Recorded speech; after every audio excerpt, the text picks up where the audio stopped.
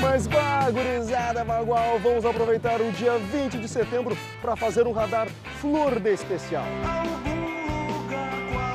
Especial só com bandas gaúchas.